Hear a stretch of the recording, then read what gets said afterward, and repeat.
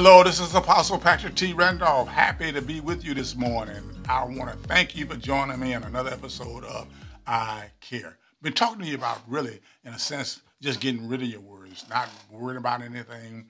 Been talking to you about not doubting, talking to you basically about how God is there for you and how He's going to strengthen you, how He's going to keep you. Well, guess what? I have some more scripture for you today, and it's going to encourage you in, this, in, in some of the same things but I just want you to see how God talks. I wanted you to see the language of God towards us all, how He takes care of us, how He promises what He would do. There's a language to God. Hallelujah.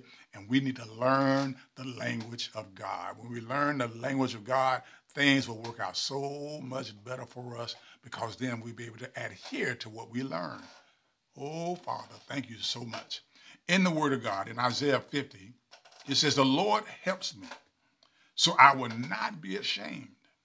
I will be determined, and I know I will not be disgraced. That's the century version, again, of the scriptures. I will not be disgraced. I'm not ashamed. I won't be embarrassed. No, no, no, no, no, no. See, that's many times why we don't want to face our enemies because we feel like we may be embarrassed or we may be ashamed of something. But listen, Go before your enemy as if God is on your side. Go before your enemy as if God is in you. And guess what? The scripture says, greater is he that's in you than he that's what? In the world.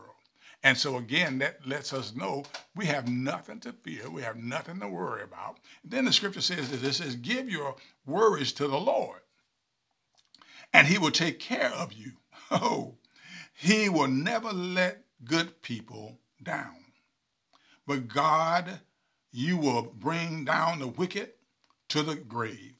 Murderers and liars will have only half a lifetime, but I will trust in you. What a way to live your life, trusting in God. What a way to live your life when you give your words to the Lord. Hallelujah. You know, Jesus took our, our, our words from us anyway. He handled everything on Calvary's cross. And he did that so that we could live worry free because we put our confident trust in the Lord and not in things, not in ourselves, but in the confident trust of the Lord. Because he is faithful, he is gracious, he is kind. I love this passage in Philippians chapter 4 again. Listen to this. Do not worry about anything, but any, I'm sorry, but pray and, and ask God for everything you need. Always, ooh, always giving thanks. Would you say that with me? Always giving thanks. And God's peace, which is so great, we cannot understand it, will keep your hearts and your minds in Christ Jesus. Brothers and sisters, think about the things that are good and worthy of praise. Think about the things that are true and honorable and right and pure and beautiful and respected.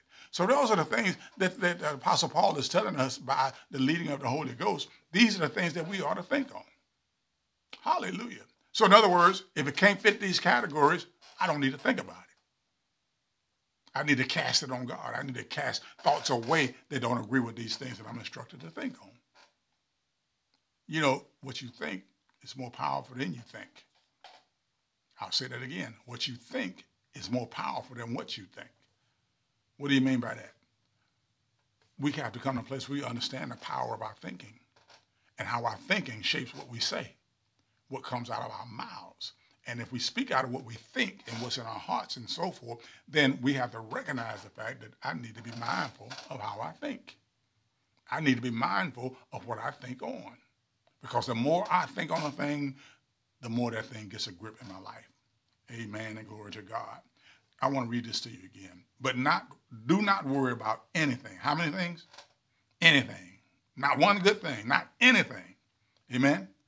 But pray and ask God for everything you need, always giving thanks.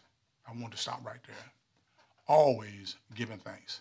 Thanks is so powerful. I'm going to say that again. Thanks is so, so powerful in the life of a believer. God says even come into his presence with what? Thanksgiving. Hallelujah. Thanks is a very powerful tool with God.